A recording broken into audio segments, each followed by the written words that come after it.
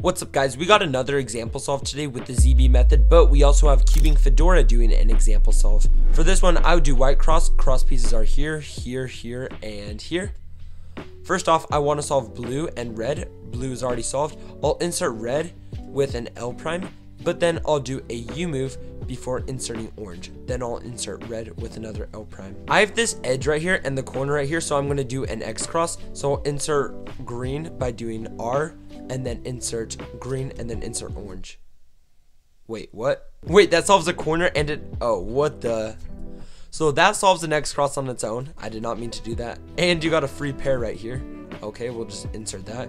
We'll do D move, insert the corner, and then another D move, and that makes a double cross. That's crazy.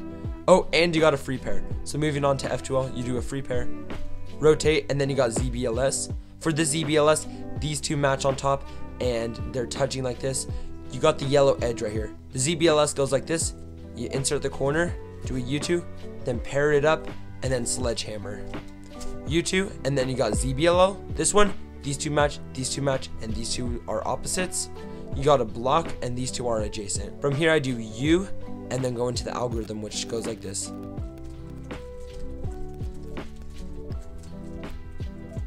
And that solves the cube. I'm too lazy to do a POV setup, so I just hold the phone with one hand and do the example solve with one hand. So we've got our cross pieces here, here, here, and here. And I'm not gonna try to go for anything too crazy, but I see this and this, and also see these two. So I'll first insert red, like that, and then I'm gonna move blue and red over. That sets up orange and green for an insert like this. I track these two in inspection.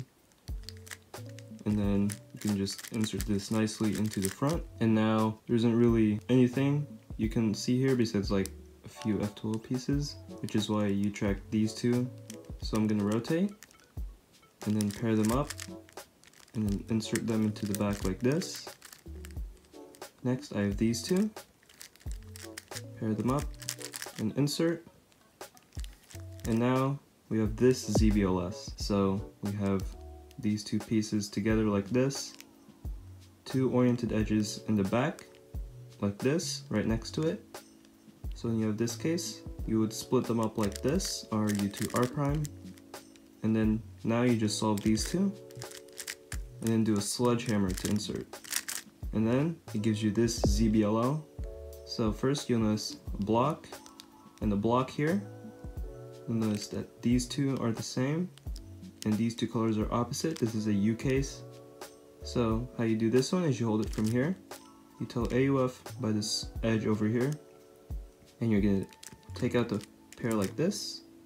And do a little commutator, so R2, D prime, RU R prime D. And then cancel into inserting it with a U2.